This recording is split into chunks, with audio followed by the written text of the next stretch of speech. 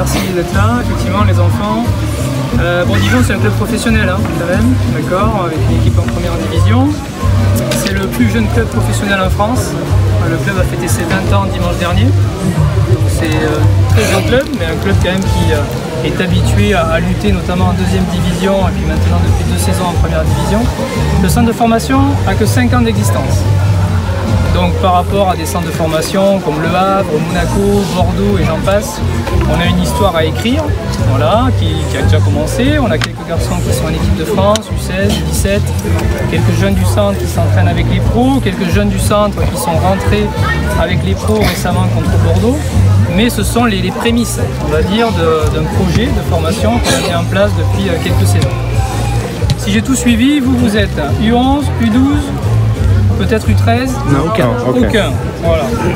Donc, petite question comme ça à, à 100 balles. À partir de quel âge on arrive dans un centre de formation en métropole?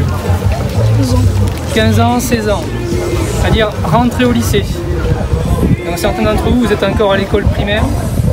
Certains, vous êtes en sixième. Éventuellement, vous avez un an d'avance à l'école, peu importe.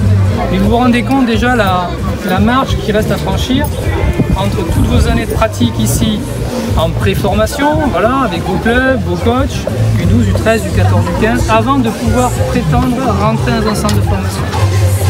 Si euh, le club de Dijon, et je vous rassure, on n'est pas les seuls, hein, on est peut-être même les derniers, euh, on vient suivre des garçons jusqu'ici en Guyane à partir de U11, U12, U13, c'est seulement pour identifier des joueurs à fort potentiel. Nous, on a nos critères d'observation. Le Stade Rennais, l'Olympique Lyonnais, euh, le PSG va avoir des critères d'observation peut-être similaires, peut-être un petit peu différents. En fait, on essaie de détecter des joueurs qui vont correspondre à la manière dont on souhaite jouer dans nos équipes au centre de formation. Et cette manière de jouer, elle est impulsée par qui, d'après vous? Qui c'est qui nous dit comment il faut jouer? Le coach, mais lequel de coach? Le coach des pros. D'accord? On part des pros, la manière dont ils souhaitent jouer, la manière dont ils souhaitent euh, conserver le ballon, progresser vers le but, la manière dont ils souhaitent défendre. Et on le transpose dans nos équipes de jeunes. Et pour ça, il faut détecter, intégrer des joueurs avec les qualités, avec le potentiel pour jouer de cette manière-là. Répétition des efforts, générosité, humilité, intelligence, sens euh, du sacrifice. Un petit club à Dijon. Donc il n'y a pas Neymar, il n'y a pas Mbappé, il n'y a pas ces joueurs-là. D'accord Mais il y a des joueurs avec euh, déjà des valeurs, d'accord Avec euh, un état d'esprit et avec un goût à l'effort et un goût du travail. Donc quand je viens effectivement en Guyane et qu'on essaye quand même de ne pas se disperser, d'accord On observe surtout de Paris à Lyon, pour donner une fourchette, d'accord Et surtout dans la région Bourgogne-Franchemont. Mais quand on vient en Guyane, on essaye de détecter des joueurs avec ces qualités-là. Je prends l'avion demain et je, rentre tout seul. D'accord? Il n'y a aucun joueur qui vient avec moi à Dijon. D'accord? Nous, ce qu'on souhaite, Dijon et les autres clubs professionnels, c'est que vous continuiez de bien travailler dans vos clubs, à l'écoute de vos coachs, la semaine comme le week-end. Tout ce que vous allez mettre en place dans vos clubs vous permettre de franchir des étapes petit à petit. Des garçons qui sont en avance, il y a des garçons euh, qui sont peut-être en retard. Et c'est pas forcément le garçon qui est en avance aujourd'hui qui sortira professionnel demain. Il y a énormément de paramètres. Parmi ces paramètres, il y a la scolarité, il y a votre attitude euh, au quotidien, il y a votre relation avec les coachs, il y a votre environnement familial.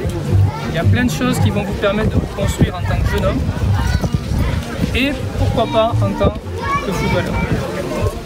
D'accord Donc je ne veux pas plomber l'ambiance, hein, je ne veux pas faire croire que c'est impossible, mais il faut bien se mettre dans la tête que c'est très très très difficile.